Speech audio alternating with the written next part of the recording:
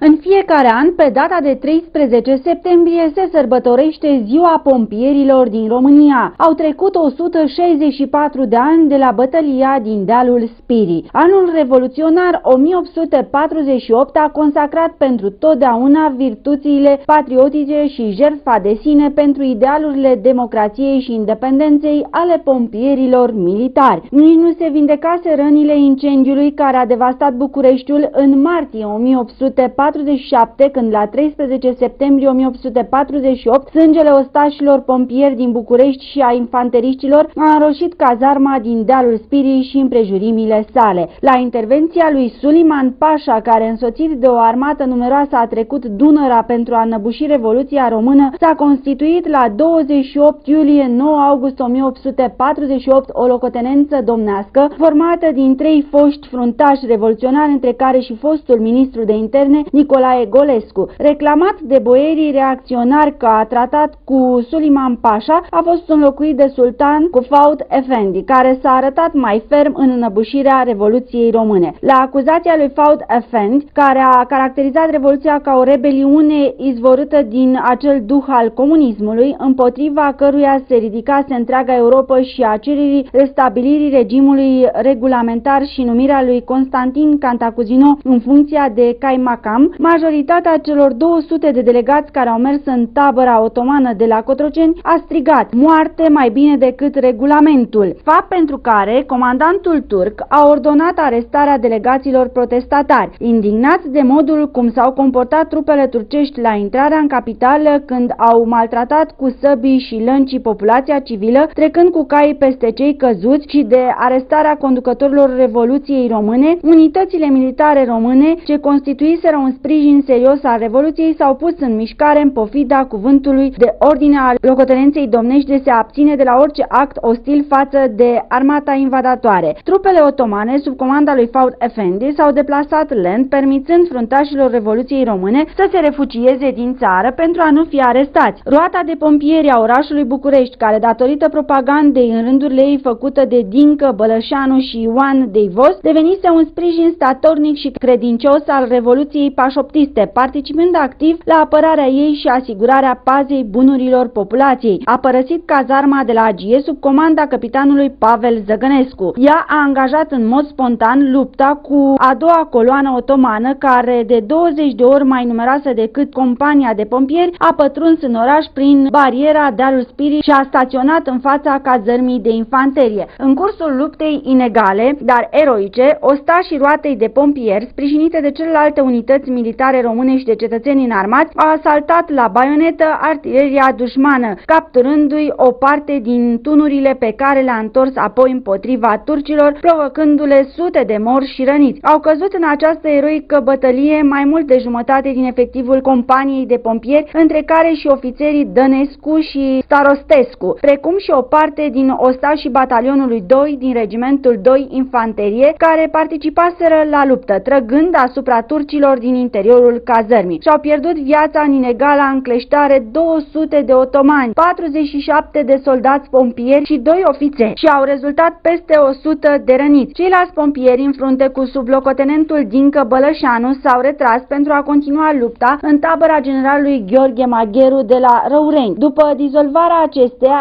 eroicii pompieri, alături de cei care activase în gărzile naționale, au trecut munții și s-au înrolat în armata revoluționară condusă de Avram Iancu cu unde Dincă Bălășanu a ocupat funcția de centurion. Toate sursele istorice, martorii oculari, contemporanii bătăliei apreciază în unanimitate că majoritatea jertfelor din cei peste 100 de morți și tot atâția răniți au fost date de pompieri, ei aflându-se în vâltoarea încleștării. Un șir de evenimente istorice ulterioare a consacrat actul eroic al pompierilor. Veteranilor de la 1848 li s-a acordat prima decorație militară românească, Pro Virtute Militar, înființată de domnitorul Alexandru Alexandru Ioan Cuza. Tot ca o recunoaștere a eroismului pompierilor, data de 13 septembrie 1863 a fost aleasă pentru mânarea noilor drapele de luptă oștirii țării, batalionul de pompieri București înființat încă din anul 1861, primind primul drapel de luptă din mâna domnitorului. Recunoașterea faptului că data de 13 septembrie 1848 este unul dintre cele mai semnificative momente din tradițiile de luptă ale armei pompierilor a fost unanimă, indiferent de epocile evoluțiile istorice și regimurile politice prin care a trecut țara. Drept urmare, ziua de 13 septembrie a fost sărbătorită din totdeauna ca fiind ziua pompierilor din România, însă a fost legal oficializată după război, apoi prin legea numărul 121 din anul 1996 privind organizarea și funcționarea Corpului Pompierilor Militari, dar și prin hotărârea de guvern al României numărul 1490 din 2004 pentru aprobarea regulamentului de organizare și funcționare a Inspectoratului General pentru Situații de Urgență. Niciodată, capitolul din istoria națională dedicat anului revoluționar 1848 nu a făcut abstracție, indiferent de vremuri, de sângeroasa și inegală confruntare dintre ostașii companiei de pompieri din București și o coloană a armatei otomane. Pe timpul domniei lui Cuza, pompierii au beneficiat de atenția sa deosebită, capul oștii inspectându-i des și fiind mulțumit de fiecare dată de modul cum se prezentau cazărmile și oamenii. Tradițiile consemnează în acei ani și trimiterea în străinătate, la Paris, pentru perfecționarea pregătirii a primului ofițer de pompieri. Caracterul militar și structura organizatorică specifică aveau să fie întărite și statornicite încă din anul 1874 prin înaltul decret regal numărul 702. Astfel se cuvine ca în fiecare an să se cinstească memoria înaintașilor, dar în același timp să se achite de prezentele misiuni și sarcini multiple care stau permanent în atenția pompierilor români.